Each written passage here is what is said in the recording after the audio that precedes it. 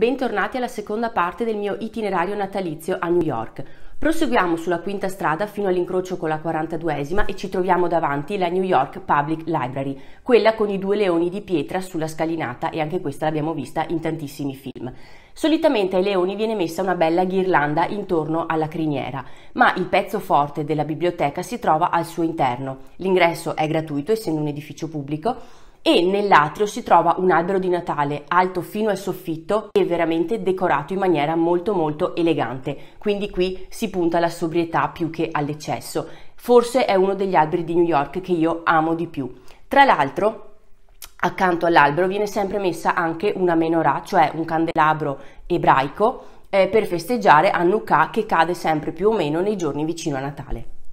Proprio dietro alla biblioteca si trova Bryant Park, un parco piccolino ma perfettamente incastrato in mezzo a tutti i grattacieli. Qui si può tranquillamente trascorrere anche un'intera giornata nell'attesa che cali la sera, si accenda il meraviglioso albero di Natale che viene allestito qui e si accendano anche le finestre dei grattacieli che lo circondano, rendendo l'atmosfera ancora più natalizia.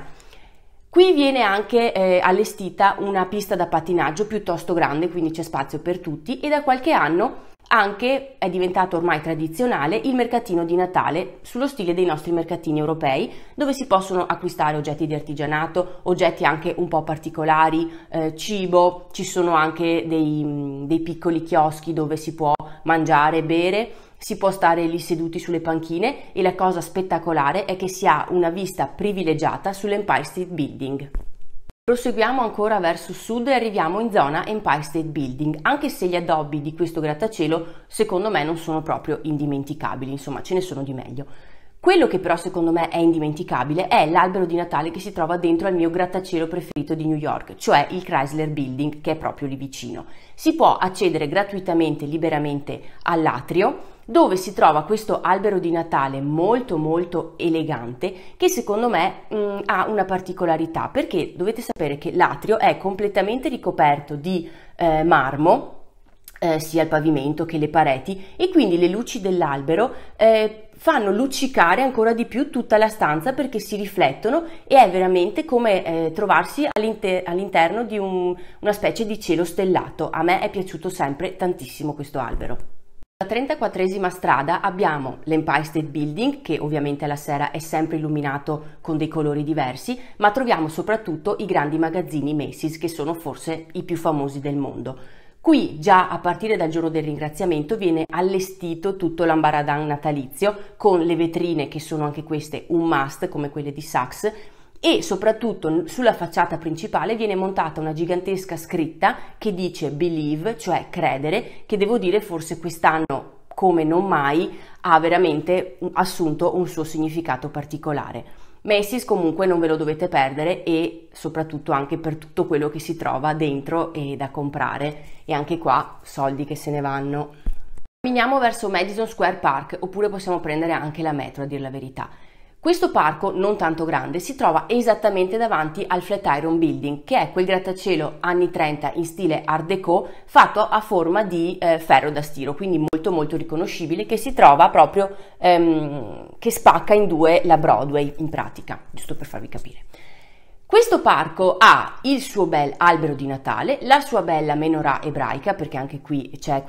doppio, questa doppia mh, visione del Natale, diciamo, eh, cristiana e anche ebrea.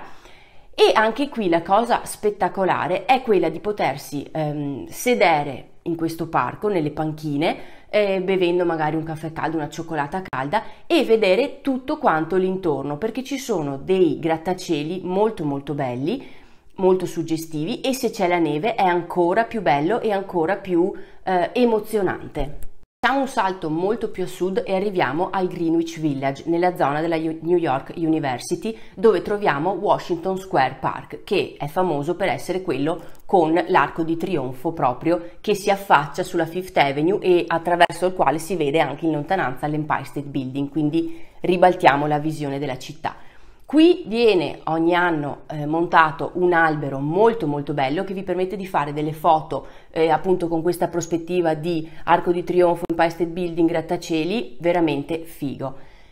Io qui consiglierei di fare questo, si va alla New Yorkina che è una caffetteria gelateria messicana che fa delle cose deliziose, si prende il caffè da asporto, ci si siede su una panchina del parco e si ammira l'albero con tutta questa eh, super scenografia che vi ho raccontato e si sta lì a, a vedere anche solo eh, i passanti e com'è un po' eh, l'atmosfera Finisce qui la seconda parte dell'itinerario natalizio, proseguiremo poi con altre meravigliose zone di New York dove assaporare a pieno la magia del Natale. Quindi continuate a seguirmi, continuate a camminare con me in questa meravigliosa città, forse la più bella del mondo, una delle più belle del mondo, e continuiamo a sognare insieme in attesa di andare veramente a trascorrere un Natale a New York. Buona giornata, un bacione a tutti. Ciao!